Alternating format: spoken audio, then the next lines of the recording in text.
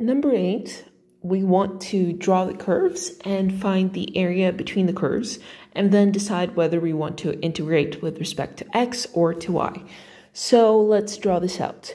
Um, for the first curve, this one over here, there are multiple ways to draw it out. Um, I will draw it by factoring, finding the roots, and then kind of fitting a curve through it. So I will factor this equation, x squared minus 2x is equal to 0. So then I have x times x minus 2 is equal to 0.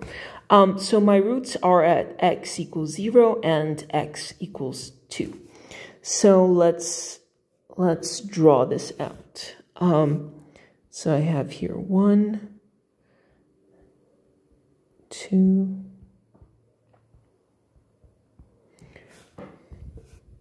So my roots are at 0 and at 2. Um, because the roots are symmetric with respect to the vertex, I do know that the vertex is at x equals 1. Um, so I just need to find the y value for it. So I'm going to plug it into the equation. So when I plug in 1, that's 1 squared minus 2 times 1. Um, and that gives us 1 minus 2 is equal to minus 1. So our vertex lies at, at 1 and minus 1. So we'll um, we'll draw this this out. Looks something like this. And this is our curve. Um, y is equal to x squared minus 2x.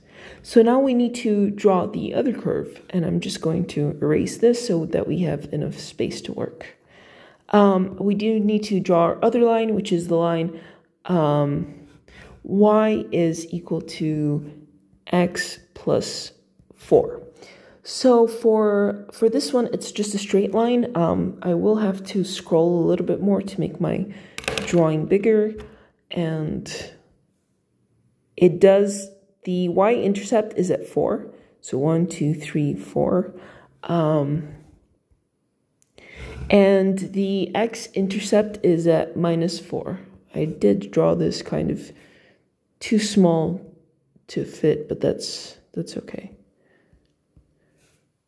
So it does go something like like this. And that in theory is a straight line. So we can clearly see that the um, the area between them is this area over here. Now we have to ask ourselves whether it makes sense to integrate with respect to x and or with respect to y.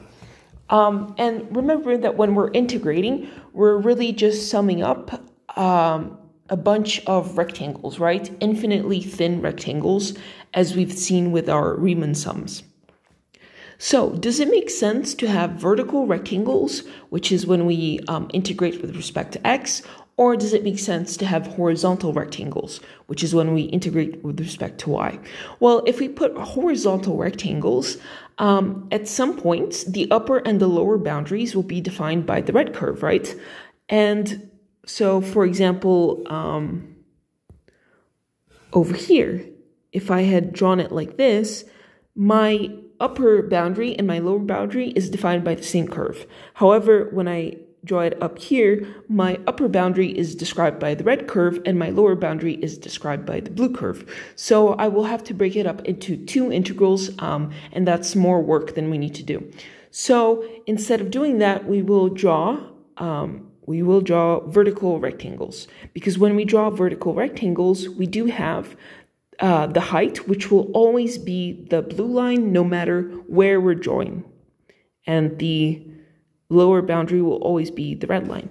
So we're almost ready to set up our integral, um, except we don't really know where the bounds of integration are. And to find the bounds, we do need to find where um, these two curves intersect. So it's at um, this point over here and this other point. Um, and to find where they intersect, we basically need to set them equal to each other. So we have um, x plus 4 is equal to x squared minus 2x.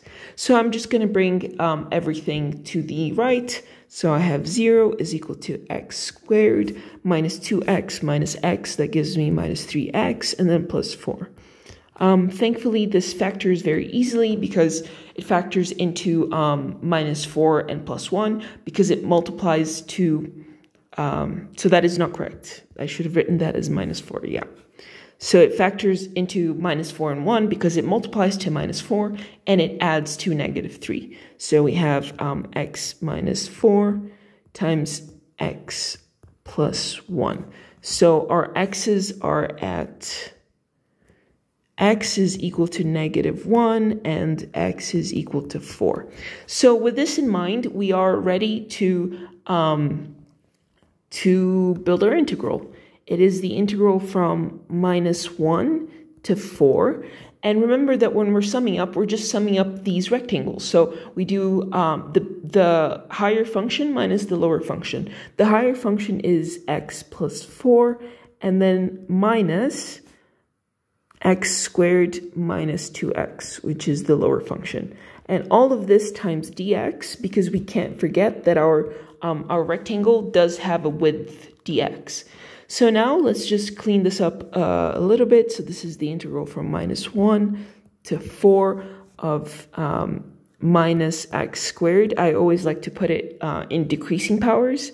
Um, minus minus 2x is plus 2 plus x. So plus 3x and then plus 4, all this times dx. So now we just, uh, we integrate it. It's very simple applying the reverse power rule. Um, this is minus x cubed over 3 plus 3x squared over 2 plus 4x from negative 1 to 4. So now all that's missing for us is to um, evaluate the boundaries, right? So we do have uh, minus 4 cubed over 3 plus 3 times 4 squared over 2 plus 4 times 4. Um, and then it's minus, minus, and minus, so that becomes a minus uh, 1 cubed over 3, and then um, minus 3 2 times 1 squared. And then the minus with the minus becomes a plus. So plus 4. Um, and now we just simplify this a little bit and then add everything up. So this is minus 64 over 3 um, plus this is 24 plus 16 and then that is um, minus 1 third minus 3 over 2 and then plus 4, which when I plug this into my calculator, let's see what that gives me.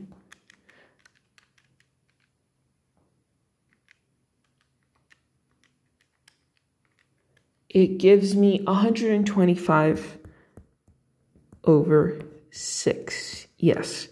So um, this is the answer to the area that's between these two curves, right, which we have chosen to integrate it with respect to x because we want the um, vertical rectangles which are easier to integrate in this case.